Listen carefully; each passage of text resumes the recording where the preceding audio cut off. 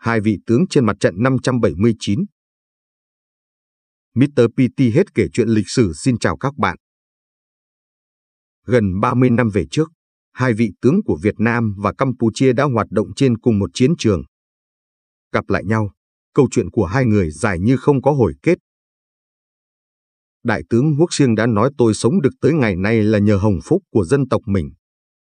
Nhưng bao nhiêu đồng đội tôi, trong đó có không biết bao nhiêu người còn rất trẻ từ phía Việt Nam đã ngã xuống. Những ngày đầu tháng 8, có một cuộc hội ngộ đặc biệt của hai vị tướng Việt Nam và Campuchia diễn ra ở nơi từng là chiến địa ở tỉnh Stung Chen. Vương quốc Campuchia trong những năm đánh tàn quân Pol Pot, Trung tướng Trần Quang Phương và Đại tướng Quốc Siêng. Không có các đồng chí, không có bộ đội Việt Nam thì chúng tôi sẽ không có ngày hôm nay Đại tướng Quốc Siêng. Phó tư lệnh lục quân kiêm tư lệnh quân khu một quân đội Hoàng gia Campuchia, xúc động khi gặp lại đồng đội cũ, Trung tướng Trần Quang Phương chính ủy quân khu 5. Hôm nay, họ gặp nhau để đặt viên gạch đầu tiên xây dựng khu lưu niệm Bộ Tư lệnh Mặt trận 579, công trình trung tưởng nhớ những người lính đã ngã xuống. Không nghĩ có ngày hồi sinh. Stung Trang bây giờ là đô thị sầm uất, những dãy nhà cao tầng bớt lên mạnh mẽ để thay thế những khu dân cư nghèo. Những con đường rộng kết nối chạy xuyên qua, làm vùng chiến địa năm xưa chuyển mình mạnh mẽ. Quốc siêng người lính chưa có quân hàm, cấp bậc ngày nào còn cầm súng cùng bộ đội Việt Nam tiêu diệt tàn quân Pol Pot.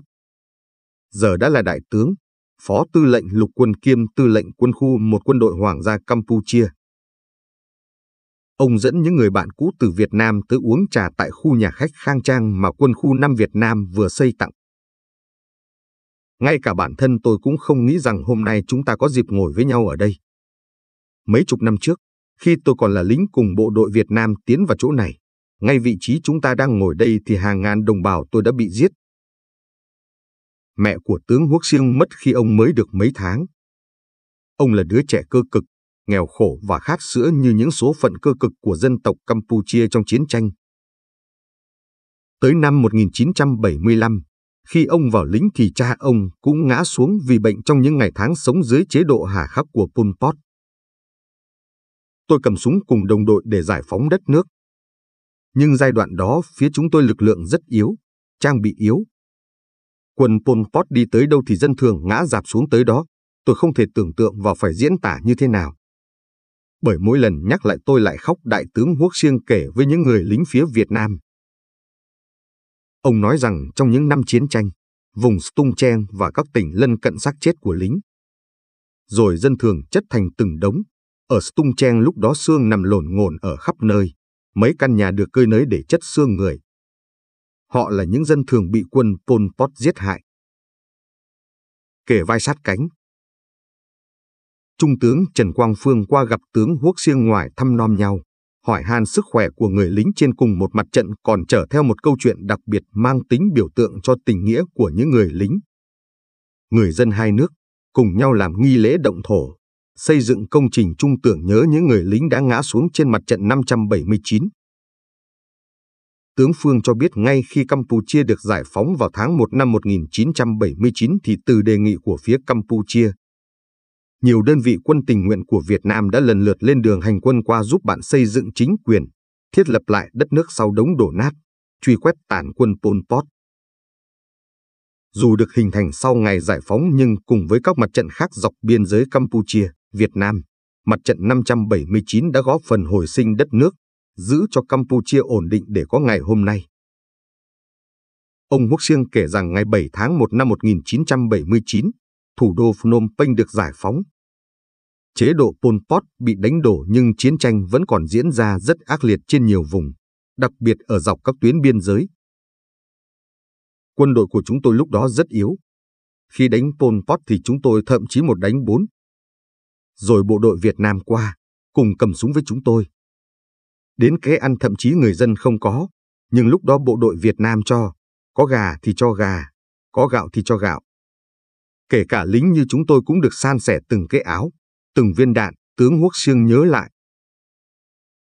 Cùng gặp còn có Trung tướng Gorksen. Khi mặt trận 579 được thành lập, Gorksen là tham mưu trưởng tỉnh đội Stung Treng.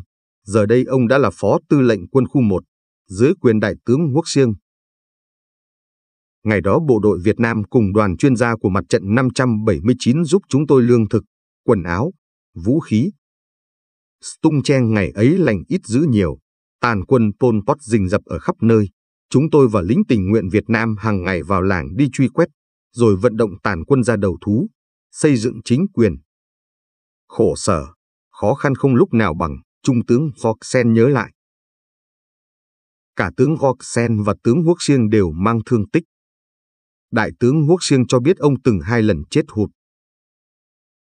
Năm 1981, tôi đi xe lên tỉnh họp. Khi trở về thì bị quân Pol Pot đánh mìn phục kích. Tôi bị thương rất nặng nhưng sống sót được. Một lần khác, khi chiến đấu cùng sư đoàn 35 thuộc mặt trận 579 khu vực giáp biên giới Thái Lan thì anh em chúng tôi lại bị đánh úp. Tôi sống được tới ngày nay là nhờ hồng phúc của dân tộc mình. Nhưng bao nhiêu đồng đội tôi, trong đó có không biết bao nhiêu người còn rất trẻ từ phía Việt Nam đã ngã xuống, Đại tướng Huốc Siêng xúc động. Sáng ngày 4 tháng 8 năm 2018, Trung tướng Trần Quang Phương chính ủy quân khu 5 đã cùng Đại tướng Huốc Siêng tư lệnh quân khu một quân đội Hoàng gia Campuchia. Làm nghi thức giải hòa, té nước theo phong tục để đặt viên gạch đầu tiên xây dựng khu lưu niệm Bộ Tư lệnh Mặt trận 579.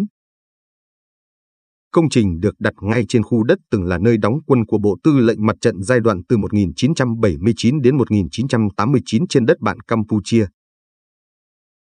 Công trình sẽ là điểm đến của những người lính Việt Nam và Campuchia, tưởng nhớ về những xương máu mà quân hai nước đổ xuống trong những năm 1979 đến 1989.